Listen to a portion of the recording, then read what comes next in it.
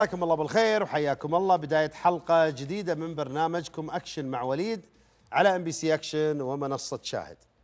اليوم الساعة سبعة مساء بتوقيت المملكة العربية السعودية انتظرنا قدام التلفزيون عشان تبدأ مباراة الاتحاد السعودي مع سباهان الإيراني. وين؟ في أصفهان. ينتظرون الناس عشر دقائق ربع ساعة الملعب فاضي. إيش القصة؟ على سبعة ونص جت أخبار إنه نادي الاتحاد السعودي ركبوا الحافلة واتجهوا مباشرة إلى مطار أصفهان. ومعاهم أعضاء من السفارة السعودية.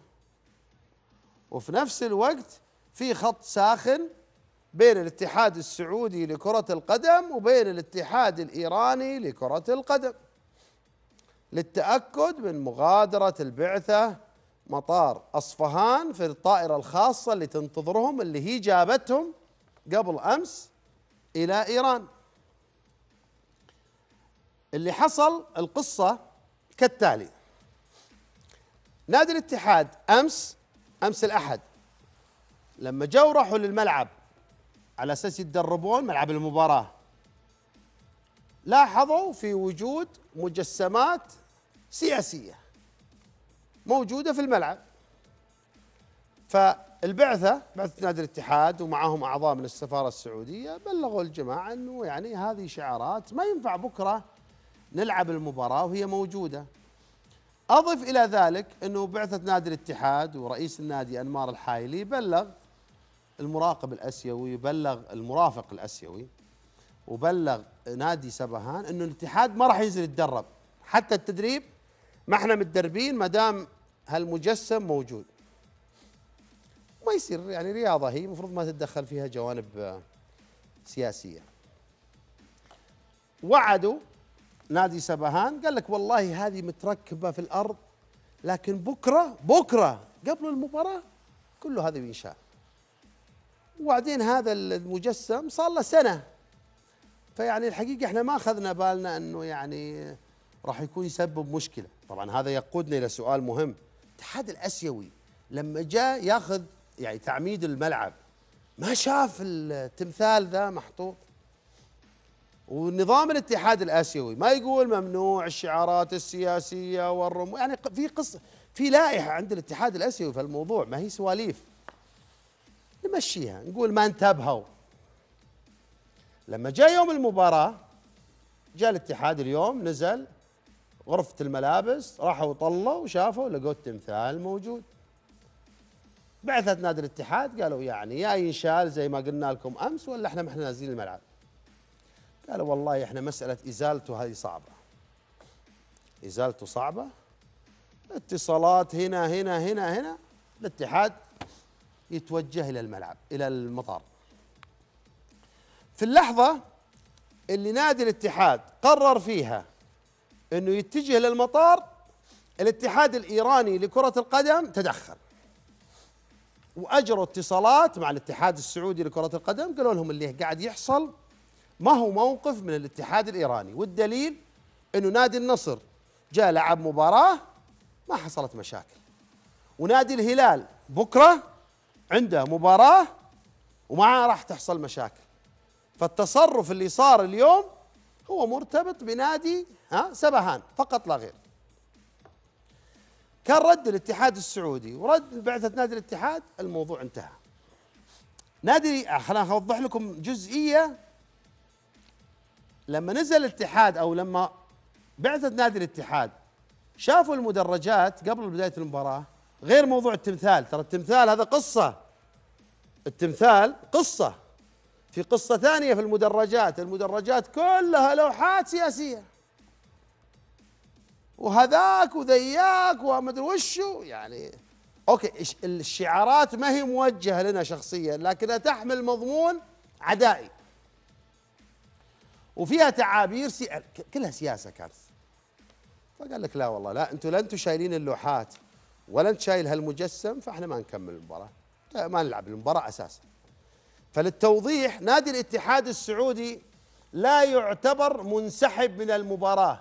المباراة عشان نكون واضحين البيان الصادر من الاتحاد الأسيوي لكرة القدم بعد المباراة يقول أعلن الاتحاد الأسيوي لكرة القدم إلغاء مباراة سبهان الإيراني والاتحاد السعودي على استاد نقش جاهان. في أصفهان بدوري أبطال آسيا واللي كان من المقرر لعبها مساء اليوم الاثنين. وذلك انتبه وذلك بسبب ظروف غير متوقعة. وفقا طبعا لبيان الاتحاد الآسيوي. وأكد الاتحاد الآسيوي في بيانه المقتضب أنه يشدد على التزامه بضمان أمن وسلامة اللاعبين والمسؤولين والجماهير وكل أطراف اللعبة. وأوضح البيان انه راح يتم إحالة الأمر إلى اللجان المعنية اللي هي مين؟ لجنة الانضباط. لجنة الانضباط في الاتحاد الأسيوي. المعلومات اللي عندنا تقول إنه لجنة الانضباط أول حاجة الاتحاد الأسيوي متفق أن نادي الاتحاد هو ضحية. فمسألة يجي واحد يقول لك إيش؟ لا نادي الاتحاد راح يعتبر خسران 3-0 هذه انساها. انساها. الخيارات الآن إقامة المباراة في أرض محايدة غالبا سلطنة عمان. هذا لو أراد الاتحاد الأسيوي استخدام تخفيف للعقوبة ضد سبهان على فكرة العقوبة لن تكون ضد إيران ولا ضد الاتحاد الإيراني ضد النادي. أو منع إقامة مباريات على هذا الملعب في هذه النسخة. يعني استاد نقش جاهان ما راح تقام فيه مباريات لدوري أبطال آسيا في هذا العام. أو يتم شطب نتائج سبهان. وهذا يعني أحد الثلاث خيارات. يا تسحب النقاط ويعتبر الاتحاد هو اللي فايز في صورة مشابهة لما حدث عام 96 97 إذا ماني بغلطان. نادي النصر كان سافر إلى كازاخستان وراح يلعب مع نادي اسمه أليما أو ليما. لما جاء النصر يدخل الملعب فوجئ إن الجو عدائي في الملعب والجمهور يرمي ومش عارف إيش فالنصر قال لك أنا ما أقدر ألعب المباراة بالشكل هذا. هذا إرهاب.